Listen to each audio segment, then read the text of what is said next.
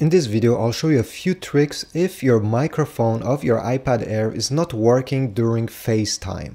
So what can you do? I'll show you a few tricks. So let's get started. The first step is to go into your settings, then go on Bluetooth here on the left side and disconnect Bluetooth. Sometimes a Bluetooth device will be connected to your iPad and will use the microphone of the other Bluetooth device.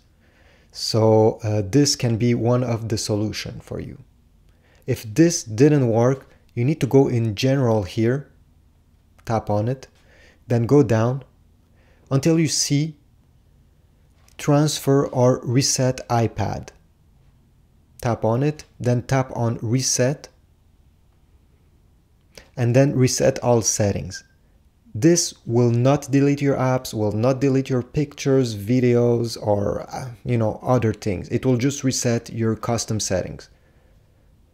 Once you're done, press reset, press reset again, and the iPad will shut down, will restart. Alright, the iPad restarted. All you have to do is press the power button and try again. Another thing you can try is to go again in the settings then you need to go here on the left side on privacy.